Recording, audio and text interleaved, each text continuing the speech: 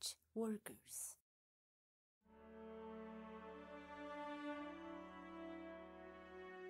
Você não é mais a mesma pessoa.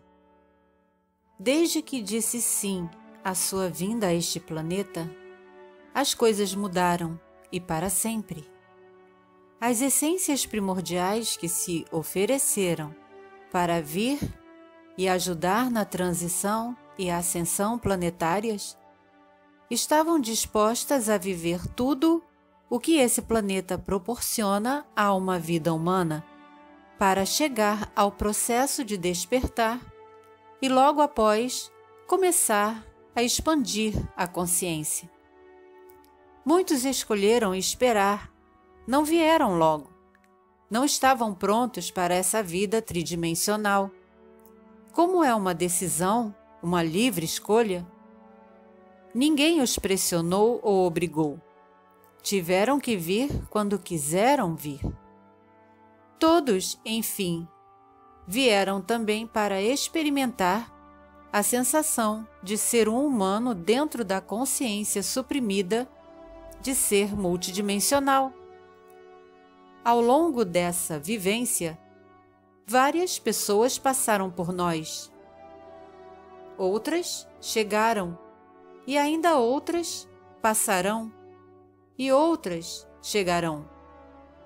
É um processo de transformação. É bem verdade que, quando despertamos, muitas pessoas se afastam de nós. Não querem mais conversa, somos estranhos e indesejáveis. Aqueles que pensam diferente e falam coisas de outro mundo. Tantas vezes damos uma opinião que ninguém ouve, ninguém se importa, porque é tão absurda que preferem descartá-la. Já para nós tem tanto sentido. Vemos o que eles não veem, sabemos o que eles não querem saber. E quando conversamos, algumas coisas parecem estar em outro idioma, porque simplesmente não nos entendem. Por outro lado, o papo que antes nos interessava agora soa sem graça e vazio. Estamos mudando. Não pensamos mais como antes. Aprendemos a ter mais paciência, mais compreensão, porque vemos nos outros o nosso próprio reflexo quando estávamos na ignorância antes do despertar era outra linha do tempo.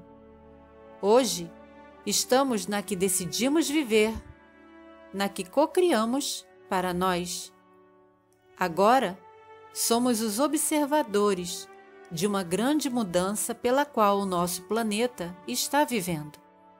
Ao mesmo tempo, vibramos de alegria quando compreendemos que, como seres multidimensionais, compreendemos que presente passado e futuro não existem separados, mas são algo único. Viemos para cá como sementes e hoje encontramos a razão de estarmos aqui.